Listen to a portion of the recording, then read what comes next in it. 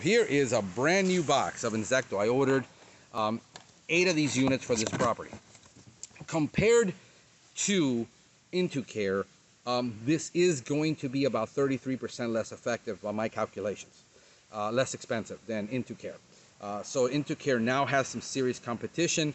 As a result, uh, we're expecting that price to go down um, on the sachets because the sachets replacement are $7 if you buy uh, a 100 box and they're $9 if you buy a, a 50 box.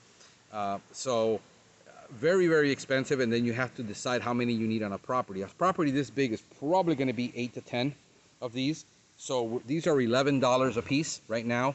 Um, you know, so if we can put eight and solve it, you know, we're looking at $88 uh, every three months because they're changed out every three months, unlike uh, In2Care that has to be changed monthly or 45 days.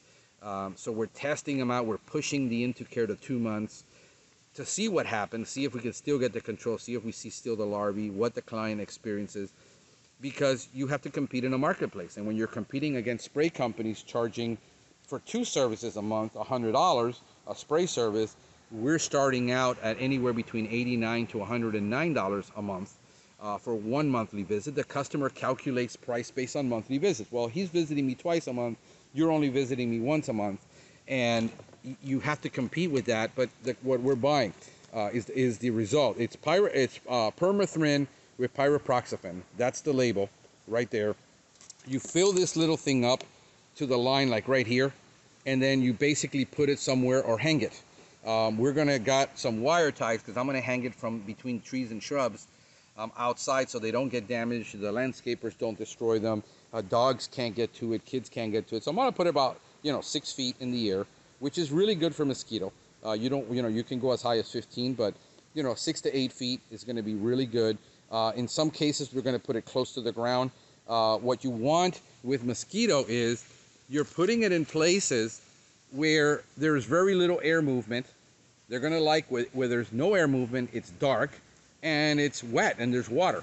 Uh, so if you can create the perfect environment, you know, there's our rodent stations back here. You know, we might stick this product back here, which is really far away from the property, and maybe just hang it here, you see, and, and not, you know, that way we're in an area where it's nice, there's a wall, the air is being blocked, you know, if we can stick it behind the tree where the air is blocking it in a corner somewhere.